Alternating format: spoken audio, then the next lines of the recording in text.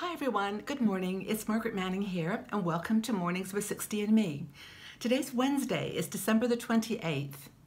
It is a beautiful, bright, sunny day today. I cannot believe it. The, my room is just illuminated with light. it's a great day in the middle of winter. Winter light is so special, isn't it? I really, really love it.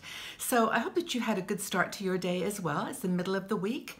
I'm having my cup of tea this morning. I've got rooibos which I really like. It's a non, it's a decaf um, tea, which is nice if you've had a bit of uh, too much coffee over the weekend, over the holiday.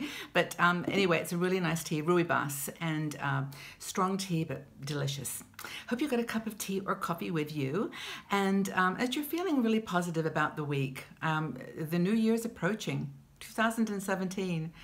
I don't know where the time has gone, but hope that you've got some fun things planned. Uh, maybe you've got a special New Year's Eve party or some time with friends and family. But whatever it is, I just hope you um, have a wonderful week. But um, here we are on Wednesday. Um, and I've got an article I wanted to share to give you some perspective, I think, on some things that um, may be kind of overwhelming you during the weekend, um, during the week, I should say, about um, how to spend the holidays and maybe indulging a little bit uh, more than you usually do. we have a fabulous blogger. Her name's Stephanie Raffelock. Now, I love Stephanie. She's so funny, but she does quite serious pieces too. But this one is, is I think, one of her funny ones, and I hope you enjoy it. It's called Eight Guilty Pleasures for the Holidays. And I'm going to read some of it too because I, I, just can't even do justice to, to the way she describes um, what you should feel comfortable doing in the holidays. So she says, after, after December uh, 25th, Christmas Day, it's time to relax. We've got a week now where we can just be ourselves, have fun, do what we like. Honestly, no one cares. I mean, well, we care, but no one else does. They're living their own drama. They're doing their own thing. So, anyways, um, she said, you know, you, you can start behaving um, like an adult again in the new year. But right now, just be, be, be a kid, have fun. First thing is, you know, why eat grown up food when you can eat cookies? Seriously. Why? Why? now, I don't eat that many cookies, but there are some things during the holidays. I mean, the shops are filled with surprises and beautiful packaging. And so, you know, why, why eat normal food if you can eat a cookie? And at this time of the year, she reminds us that it's perfectly okay to have a cookie in one hand and a drink in the other hand because, um, yeah, just wave and say hi, and no one really notices. They're just having fun too. So, anyway, wave a cookie in one hand, drink in the other, and enjoy the, the experience. Now, the other thing she says to do is have a grandma's time out, or if you're not a grandma, just a woman's time out. And, you know, stay in your pajamas all day. You know, just, just if you insist on having a shower, get into clean pajamas if you can afterwards. Just wear pajamas all day, hang out, I mean, I know a lot of women do this. I do it often.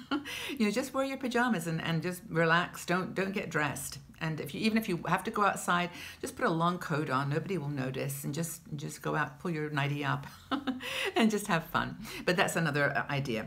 Now, binge watching is one of uh, Stephanie's ideas, and we've we've suggested this before. You know, where you basically choose a holiday um, or a program that you've loved uh, to watch every holiday, movie that's your favorite or go into Netflix and just binge watch, um, you know, Friends or uh, Person of Interest is one of my favorites. So she says one called Good Girls Revolt.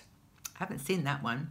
Do you have any favorites on Netflix or your your uh, online movie channel? It's really great to share this time of the year. So anyway, have a have a grandma's um, time out and, and binge watch.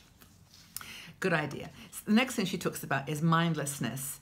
Now, this is, of course, a, um, a, variation on the theme of mindfulness. This is mindlessness, where you just do things are completely mindless. You know, sit on watch YouTube videos of, um, you know, cats or funny animals or silly things that people get up to. Um, there's a guy that uh, does dancing around the world. I wish I could remember his name, but he's funny. He's, he goes all around the world and dances with local people. He is hilarious. Oh, where's Matt? It's called Where's Matt? And uh, that's a fun one, but just be mindless. Give your brain a rest. You've got plenty to worry about, you know, ne next year when you can be a grown up again. But just for now, just practice mindlessness. I like that one. Laugh out loud, she says, and of course, wine is optional. so that's the mindlessness uh, tip. The next one is physical exercise. Now, she says our finger muscles this time of the year get very, very out of shape. They get neglected all year. So basically, rebuild your finger muscles by going through catalogs, books, you know, the old editions of New Yorker, just time, you know, magazines, glossy magazines that you just, you know, put to one side. Use that, that finger, exercise it to turn the pages on your magazine. And, um, you know, if you get tired, she says, have a lie down, have a nap. You know, finger exercises can be quite strenuous. So, you know, stretch out on the couch, take it easy, but just work those, uh, work those finger muscles. I think that's a great idea. I actually have a magazine I love called Flow, and Flow is uh, it's made by um, a company in uh, Holland, and it's for people who love paper. And this magazine, I love it. It's all uh, about paper. It's got things you can tear out to make a collage with. And it's also got stories about mindfulness and uh, simplicity and uh, owning your life and I really love it. It's, it's actually designed by a group of younger women, but they really cover the spectrum. It's really cool. And what's another one? I like Real Simple. I, I like that magazine a lot, and maybe you've got some favorites that you'd like to share with us too. But uh, exercise your finger muscles on great magazines. Another one that Stephanie suggests is movie orgies. if you have to get dressed and go out, uh, find your local cinema and um, find a movie that you've been waiting to see. See two at a time. Just stay in the seat. Pay for two tickets, but um, you know, just just go to a movie binge and uh, but get out into the world. I've been to movies at this time of the year when I was the only person in the theater. Has that ever happened to you? But um, you know, it's a time of the year to, to to movie binge, have movie orgies. Any films you've been looking forward to seeing?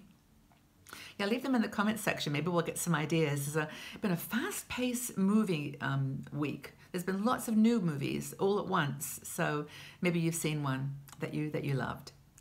And the next thing is to take it easy. Get in the mood. Just get in the mood. Have a hot shower. Buy some of those bubbles uh, that you put in your bath or, or you, creams that you can put on in, in your shower you know, do something really, really pampering. Uh, maybe buy a bottle of nice wine if you can afford that little extra to make it special. And of course, here in Switzerland, there is the dreaded chocolate. It's beautiful. It's it's perfect. There's so much wonderful option, many beautiful options, and um, I'm always tempted to buy my salted caramel uh, at, at, this time of the year. And I have actually bought one, and I, it's not been opened yet. I'm waiting for maybe tomorrow night I'll make it special. These these days in between Christmas and holidays, like what do you do? you know, you're not quite celebrating Christmas, you're not quite celebrating um, New Year's, but uh, they're there to be enjoyed. So that's another thing. Get in the mood. Cozy socks, Stephanie says. It's a good idea. Keep warm. Now, the final thing that Stephanie recommends is the permission slip. Now, I'm going to read this one because it's basically a note to yourself and um, that you write sorry you write to yourself but you're sending it to the universe.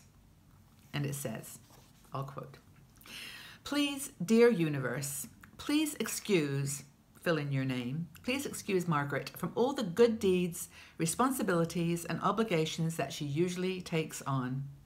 Cut her some slack.